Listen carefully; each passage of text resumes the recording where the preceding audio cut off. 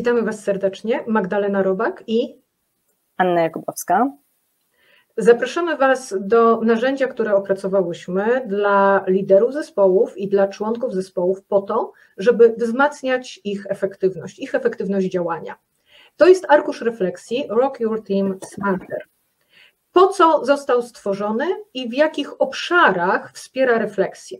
Został stworzony po to, żebyście mogli w taki uporządkowany sposób przeanalizować sobie e, pięć głównych obszarów działania i sukcesu zespołu e, i zastanowić się, jakie zmiany warto wprowadzić, a w jakich obszarach jesteście silni i wszystko działa świetnie.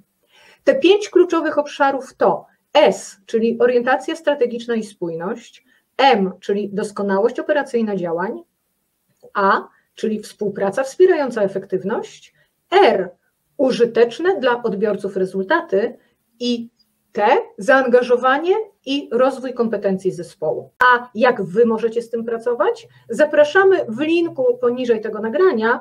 Będziecie mieć dostęp do z jednej strony arkusza PDF, który możecie sobie pobrać i wydrukować, a z drugiej strony arkusza PNG, czyli obrazka, który możecie sobie wkleić na virtual board, tak jak na przykład mural, na którym my pracujemy i po prostu pracować nad tym z zespołem.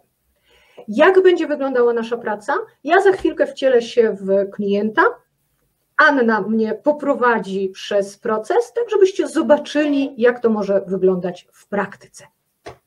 Aniu, pytanie, czy jesteś gotowa? Ja jestem gotowa. A jak Twoja gotowość, Magda? Absolutnie.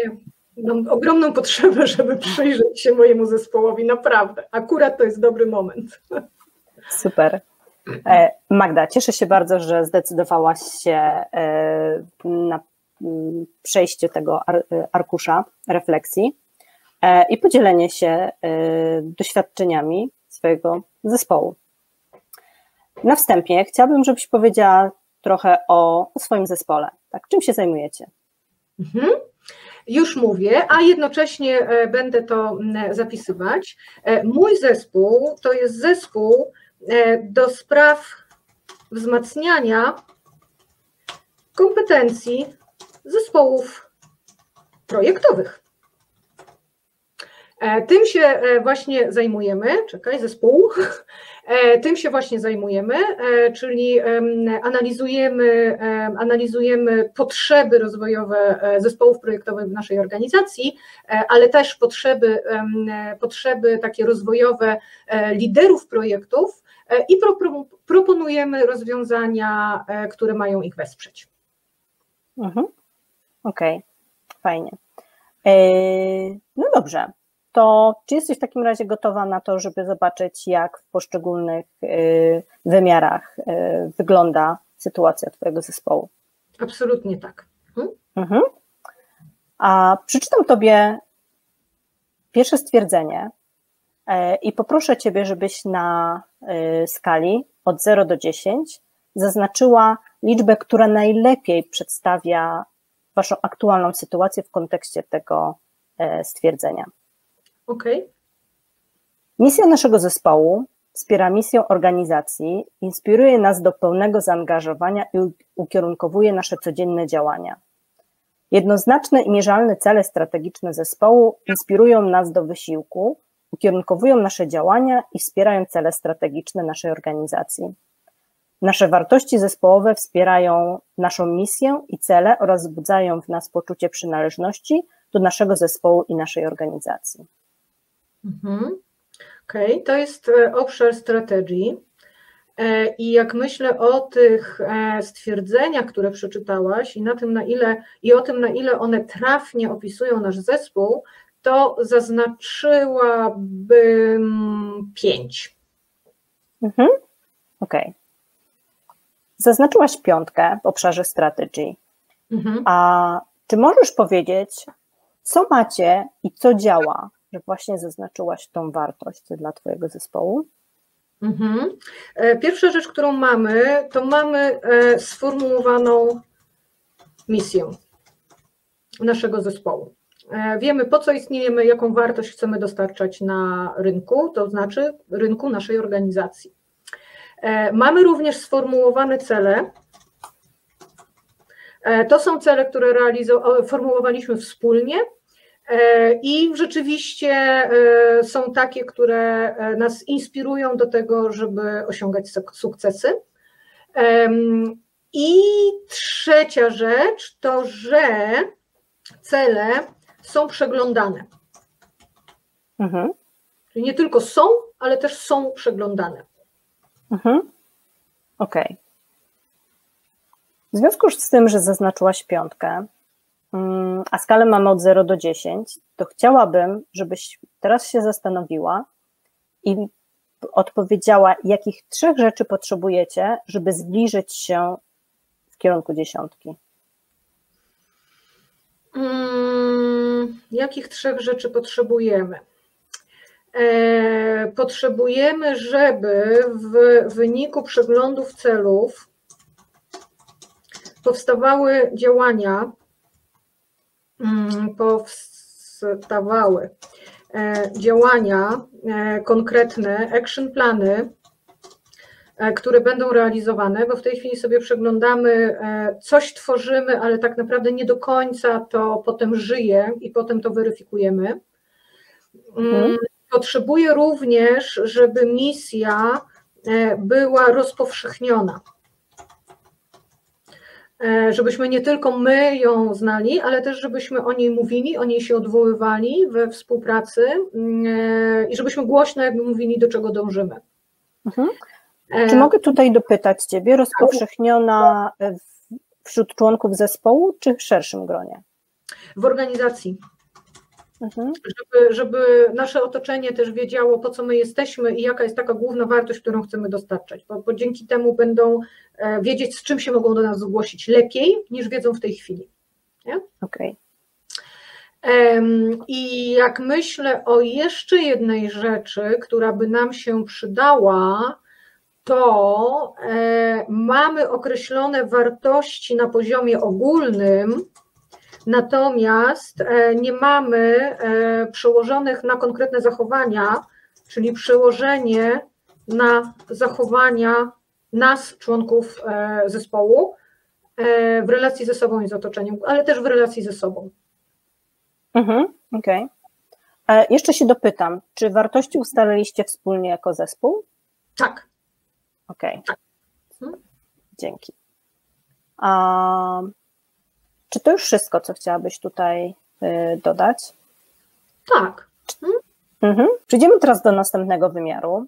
Y, ponownie przeczytam sformułowanie i poproszę Cię, y, Magda, o zaznaczenie na skali od 0 do 10, jaka wartość najlepiej odzwierciedla prawdziwość tego stwierdzenia w Twoim zespole. Następnie poproszę Ciebie o przedstawienie, co działa E, a co potrzebujecie e, do tego, żeby ta wartość była większa. Natomiast w tym przypadku poproszę tylko o jeden taki przykład. Um, super. E, to sformułowanie brzmi: Funkcjonujące w zespole procesy i zasoby zapewniają nasze efektywne działanie i osiąganie zakładanych rezultatów. Inne kluczowe procesy i zasoby w organizacji, na przykład procesy HR, wpływające na działania naszego zespołu, zapewniają nasze efektywne działanie i osiąganie zakładanych rezultatów. Procesy i sposoby zarządzania zasobami są stale usprawniane, by efektywnie wspierać działania naszego zespołu. Mhm. Okej. Okay. To tu z bólem serca, ale tak w okolicach trójki. Mhm. Okej. Okay. Zaznaczyłaś trójkę, a to powiedz teraz, co macie i co działa, że zaznaczyłaś właśnie tą wartość. Okej. Okay. E, mamy e, opisane czy omówione procesy pracy zespołu. Mhm. Czyli to, w jaki sposób my chcemy realizować działania, e, to, to w jaki sposób chcemy podejmować decyzje w pewnych aspektach, które są związane z dowożeniem rezultatów, na których nam zależy. Hmm? Okej, okay. dzięki. I tutaj poprosiłabym Magdę jeszcze o dwa dodatkowe przykłady. Natomiast y, patrząc na to, że mm, chcemy y, zmieścić się w odpowiednim czasie, poproszę Ciebie, Magdo, teraz, żebyś powiedziała, czego potrzebujecie, żeby z tej trójki zacząć przesuwać się w kierunku dziesiątki. Usprawniania. Mhm. E, usprawnianie procesów. Podobnie jak z celami jest. Podobnie jest, jak jest z celami, jest tak, że sobie patrzymy, E, natomiast, e, natomiast nie wyciągamy takich action planów związanych z e, konkretnymi zmianami, które potem są wdrażane, jeżeli chodzi o procesy pracy zespołu. I pewne rzeczy nam się rozjeżdżają po prostu. Okej, okay, rozumiem. Mhm. Dobrze. To przejdźmy, Magda, w tej chwili do affiliation, tak? czyli do budowania partnerstwa i, i relacji. Um, Nasi współpracownicy wewnętrzni i zewnętrzni wspierają realizację naszych celów i misji. Współpraca między naszym zespołem i współpracownikami, interesariuszami z organizacji i otoczenia oparta jest na wzajemnym zaufaniu i partnerstwie, zapewniając satysfakcję wszystkich stron. Sposób, w jaki zarządzamy wiedzą i informacjami, rozwija nas oraz nasze otoczenie. Mhm, dobra, to mhm. tutaj pojadę do ósemki. Mhm, okej. Okay. I możesz podać jeden przykład yy, mówiący o tym, co sprawia, że, że dałaś tą wartość 8? Mhm, jasne. Mamy uporządkowane, e, naprawdę oparte na takim współpra współpracy i wzajemnym wsparciu e, relacje ze współpracownikami. Mhm. Mm, na współpracy, e, na współpracy, wsparciu, E, uporządkowane. Mhm. E, I wewnętrznymi, i zewnętrznymi. To, to, to jest coś, co żyje. Okej, okay, super. Dziękuję Ci bardzo. A teraz powiedz, jaką jedną najważniejszą rzecz potrzebujecie, żeby zbliżyć się do dziesiątki w obszarze affiliation? Mhm. Więcej czerpać dobrych praktyk E, z naszego otoczenia, szczególnie tego zewnętrznego. E, częściej się spotykać, częściej pytać, jak u nich to wychodzi, mhm. E, niż robimy to w tej chwili. Okej. Okay. Dziękuję Ci bardzo. Mhm. Teraz przejdziemy do wymiaru results. Produkty, usługi, jakie dostarczamy, odbiorcom spełniają ich wymagania i wspierają realizację ich celów. Sposób, w jaki współpracujemy z naszymi odbiorcami, zapewnia ich wysoką satysfakcję. Stale doskonalimy nasze działania, by dostarczać produkty, usługi oraz zapewniać jakość współpracy na najwyższym poziomie i na czas. Mhm, okej. Okay. E, to tu bym powiedziała, że też jesteśmy koło ósemki. Mhm. Okej. Okay. I możesz podać jeden przykład, który sprawia, że, że dałaś tu wartość 8? Mhm. Robimy naprawdę dobre, rzetelne badanie potrzeb i oczekiwań mhm. naszych odbiorców, zarówno jeżeli chodzi o formę działań, które podejmujemy i e, z nimi, e, jak i o to, e, czego potrzebują, jeżeli chodzi o rozwój kompetencji. Okej, okay, rozumiem. I jedna potrzeba, to żeby zbliżyć się do dziesiątki. Mm-hmm. Mm. Myślę, że procesy e, dostarczania usługi mogłyby dziać się szybciej. E, czyli od momentu inicjacji do momentu, kiedy to wdrażamy, można by było po prostu przyspieszyć ten czas, żeby nie wylać dziecko z kąpielą, czyli nie myśleć za długo, e, bo, to, bo po prostu potrzeba może być już nieaktualna. Mhm. A powiedziałaś, żeby e, coś działo się szybciej, tak? Czy masz tutaj na przykład jakąś konkretną wartość czasową na myśli, czy na tym etapie jeszcze nie? Nie, na tym etapie jeszcze nie. E, pewnie by, byśmy potrzebowali popatrzeć sobie na to, e, jak często e, i jak bardzo przekraczamy jakby ten moment krytyczny, nie? Gdzie, gdzie już usługa, czy już to szkolenie traci na takiej wadze tu i teraz. Mhm. Okej. Okay. Dzięki. Mhm. Y, I zapraszam Cię do ostatniego wymiaru, team, czyli zespół.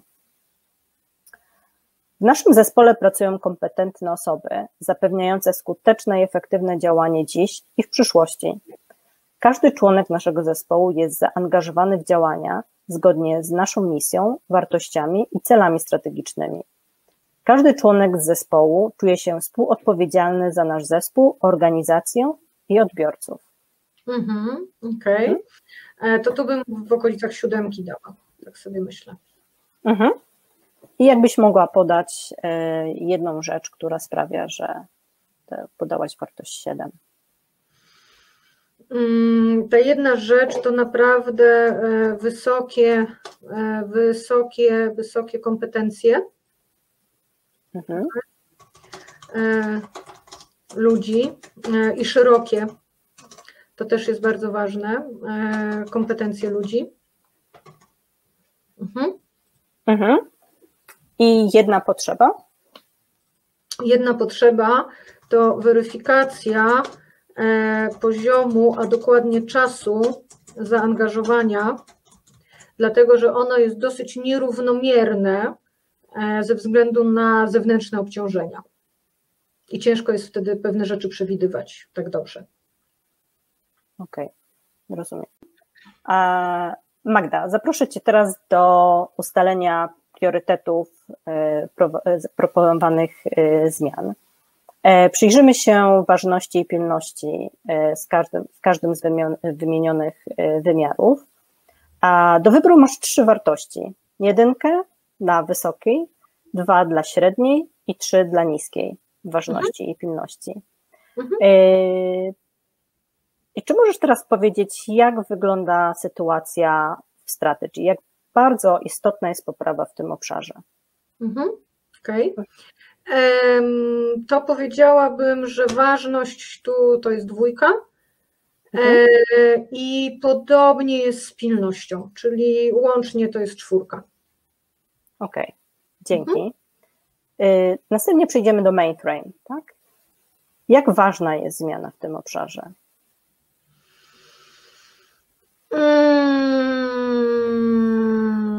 Ważna na jeden.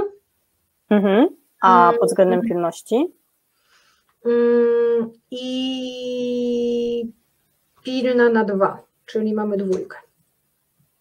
Okej, okay. dzięki. Wymiar affiliation. Jak tutaj wygląda pilność i ważność zmiany? Hmm. Ona nie jest pilna, więc tu bym dała trójkę. Jeżeli chodzi o ważność, to powiedzmy dwa. To, to nie jest coś, co jest kryzysowe, więc mamy łącznie szóstkę. Mhm. Okej, okay, dzięki. A jeżeli chodzi o results, to jak tutaj wygląda sytuacja? Hmm, ważność dwa, pilność jeden, czyli dwa. Mhm. Okej, okay, dzięki. I ostatni wymiar team, zespół. Jak mhm. ważne i pilne są tutaj zmiany? Ważność dwa i pilność dwa, mm, czyli czwóreczka. Mhm.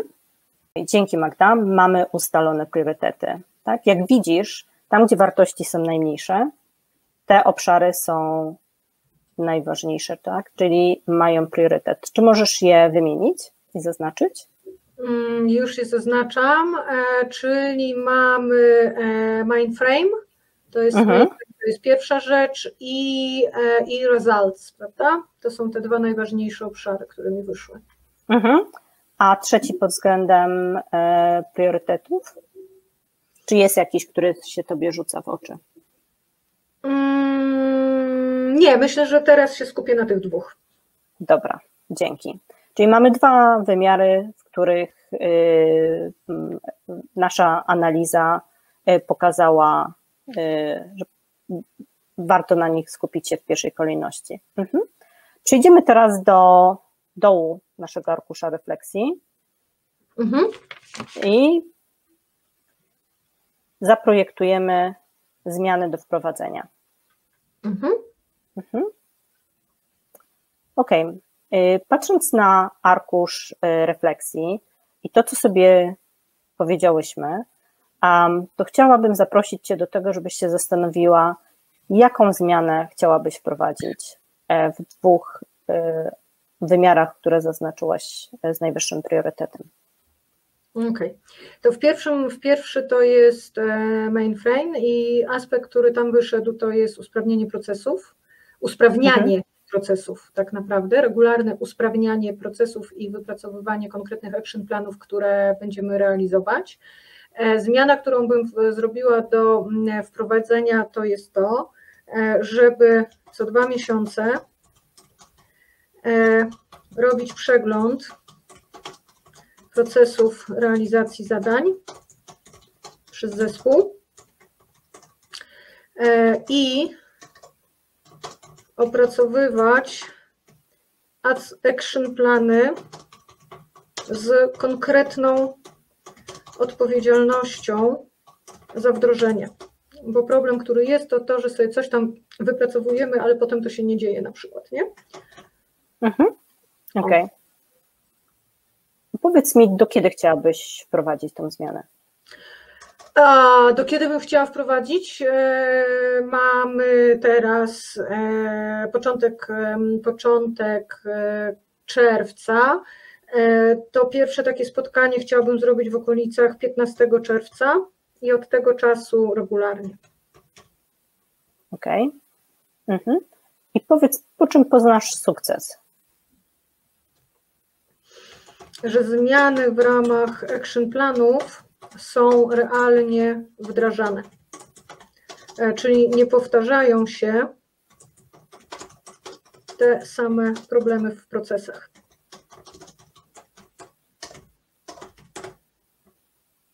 Okej, okay, dzięki. Mhm. A czy mhm. wiesz, jaki będzie Twój pierwszy krok do wprowadzenia tej zmiany? Mm, mój pierwszy krok, mój pierwszy krok to będzie mail do zespołu o tym, że takie spotkania mm, pojawią się z e, jakby takim zakończeniem i odpowiedzialnością.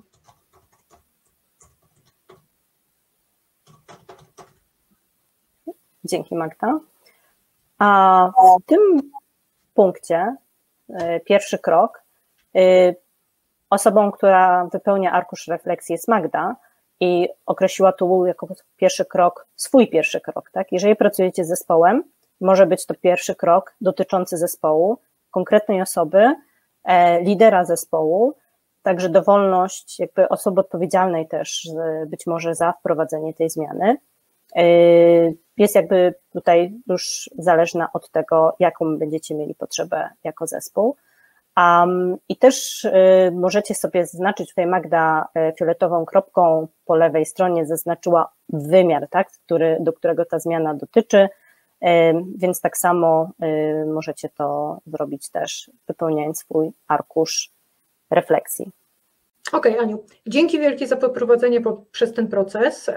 Jak zauważyliście, jest to naprawdę prosta refleksja, e, natomiast to, na co warto zwrócić uwagę, to to, że czasem być może pewne informacje, które uzyskujecie w tym aspekcie, co macie, e, a co potrzebujecie wprowadzić, e, warto doprecyzować. Tak? Warto sobie pogłębić i zastanowić się, co tam w środku siedzi, szczególnie jeżeli pracujecie zespołowo. Jak pracujecie zespołowo, tych informacji oczywiście może być więcej. Możecie też zaprosić zespoły do tego, żeby w grupkach zastanowiły się nad poszczególnymi wymiarami i potem zebrać tutaj tylko te elementy, które na przykład są wspólne, albo i te, które są wspólne, i te, które są odrębne, ale zwracając uwagę na to, jak często się powtarzają.